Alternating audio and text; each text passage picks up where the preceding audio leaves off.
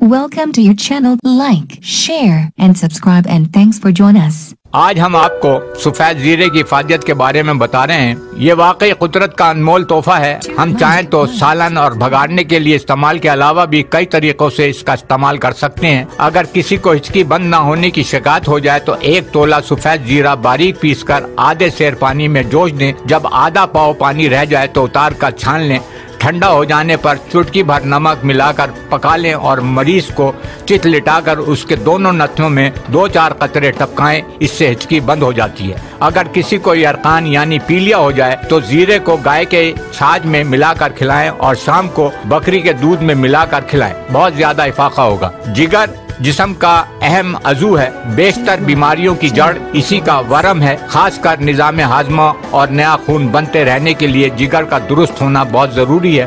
پھر بھی اگر افاقہ نہ ہو رہا ہو تو زیرے کا ٹوٹکا کریں۔ صبح کے وقت گائے کی چھاچ کے ساتھ زیرہ کھلانے سے جگر کا ورم دور ہو جائے گا۔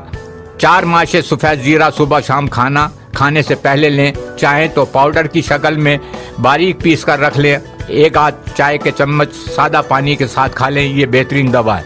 بلغمی کھانسی بدلتے موسم کا تحفہ ہوتی ہے اور اگر رات کو بخار آتا ہو، تب بھی دن میں تین بار زیرہ چٹکی بھر کھا لینے سے یہ مرض جاتا رہتا ہے۔ اچانک ملیریا یا بخار۔